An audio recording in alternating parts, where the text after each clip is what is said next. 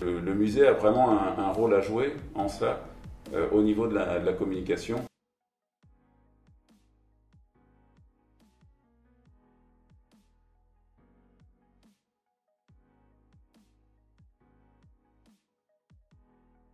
Donc les organismes scientifiques et techniques du Val-de-Loire, en particulier ceux d'Angers, euh, travaillent du matériel végétal, hein, sur les cépages, etc., jusqu'au vin, jusqu'à la mise en bouteille, donc en passant par les techniques euh, culturelles. Et on a des avancées scientifiques assez récentes, et c'est ça qui peut aussi intéresser le, musée. Euh, le musée, euh, on doit certes regarder l'ensemble, l'évolution du métier, jusqu'aux avancées scientifiques actuelles. Et ça, c'est important que les chercheurs, les scientifiques, puisse apporter au musée l'ensemble des avancées scientifiques actuelles.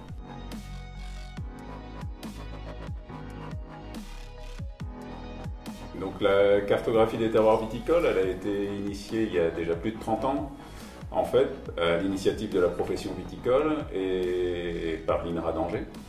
Donc ensuite, tout ce travail de caractérisation et de cartographie des terroirs, il a été poursuivi par la cellule terroir viticole.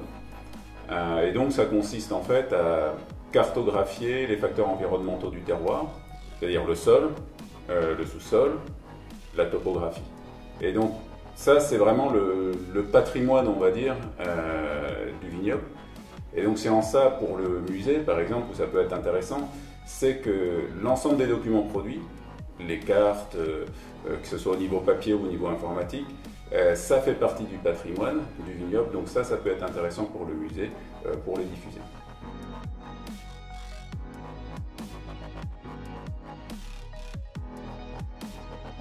Alors, euh, je pense que le, musée est, un bon outil complémentaire, on va dire, pour, euh, le no-tourisme.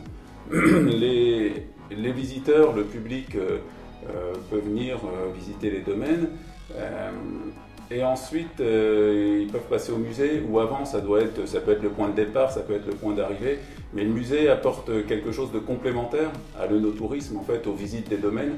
Euh, le musée est là peut-être pour avoir une vision plus globale euh, sur le vignoble, une vision historique, toutes les évolutions du, métier, euh, qu'un domaine pourrait peut-être ne, pas présenter. Là, l'intérêt du musée, c'est de voir sur l'ensemble du, l'ensemble du vignoble et puis son, son, évolution en, ce qui concerne le vignoble et puis aussi l'évolution du, métier de vigneron.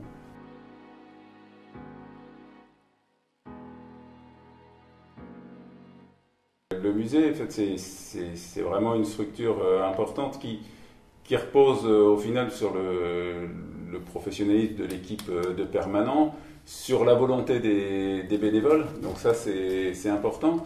Après, pour le, pour le pérenniser, il me semble que c'est important d'avoir cette exposition que l'on a, on va dire, de, tout, au long, tout au long de l'année, mais aussi s'appuyer sur les, sur les événements. Donc euh, le musée crée pas mal d'événements, que ce soit euh, euh, des soirées débats, des, des, dégustations thématiques, même des sorties dans le vignoble. Et ça, je pense que ça peut être un, bon outil de, communication.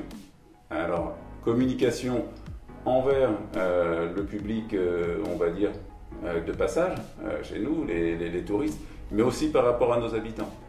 Et le musée, je pense que pour le, pérenniser et le développer, il faut qu'il s'inscrive comme ça, comme un, outil relais euh, de la communication euh, dans le vignoble.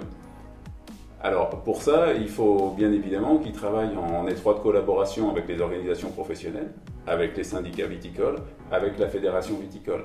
Voilà, il faut, euh, je pense, avoir un, plan de communication concerté et le, musée a vraiment un, rôle à jouer en cela au niveau de la, de la communication dire, locale pour nos habitants, mais également pour les, pour les touristes.